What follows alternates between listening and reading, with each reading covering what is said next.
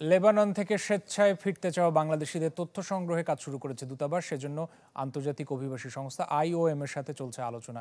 এছাড়া সব ধরনের সহযোগিতার আশ্বাস দিয়েছে লেবানন।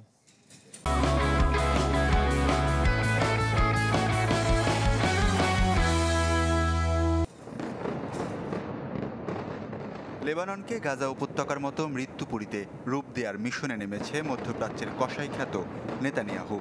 হেজবুল্লাহকে দমনের নামে দেশটির আবাসিক এলাকায় টানা বিমান হামলা চালাচ্ছে ইসরায়েলি বাহিনী। এতে প্রতিদিনই বাড়ছে নিহতের সংখ্যা। এ পর্যন্ত কোনো বাংলাদেশির প্রাণহানির খবর না মিললেও বাড়ছে আহত। এমন অবস্থায় ঝুঁকিপূর্ণ দক্ষিণাঞ্চল সহ লেবাননে থাকা প্রবাসীদের দেশে ফেরাতে তৎপর বাংলাদেশ দূতাবাস।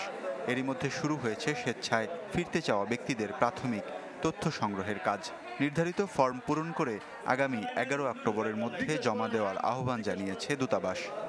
যদি আমরা এখান থেকে কোনো বিমান যোগে বা অন্যান্য কোনো অবস্থায় মাধ্যমে যদি আমরা পার্শ্ববর্তী দেশে আপনারা যারা ফেরত যেতে চাচ্ছেন তাদেরকে যদি নিয়ে যেতে পারি, সেখান থেকে বাংলাদেশ বিমানের মাধ্যমে দেশে ফের নিয়ে যাওয়ার একটা ব্যবস্থা করা যেতে পারে। লেবাননে থাকা অবৈধ বাংলাদেশি প্রবাসীদের ফিরিয়ে আনার বিষয়ে দেশটির জেনারেল সিকিউরিটির সাথে বৈঠক করেছেন দূতাবাসের কর্মকর্তারা, যেখানে অর্থদণ্ড মৌকুফ সহ সব ধরনের সহযোগিতার আশ্বাস দিয়েছে লেবানন প্রশাসন। আলোচনা চলছে আন্তর্জাতিক অভিবাসী সংস্থা আইওএম এর সাথেও। অর্থ যে দ্বন্দ্ব সেটাকে মৌকুফ করার ব্যাপারে আমরা তাদেরকে প্রস্তাব দিয়েছি এবং এই প্রস্তাবটা কিন্তু তারা সাদরে গ্রহণ করেছেন এবং আমাদেরকে যেটা জানিয়েছেন যে তারা দুই তিন দিনের মধ্যে এই বিষয়ে তারা আমাদেরকে একটি সিদ্ধান্ত দেবেন। চলমান যুদ্ধে বিভিন্ন শরণার্থী শিবিরে আশ্রয় নিয়েছেন প্রায় তিন হাজার বাংলাদেশি।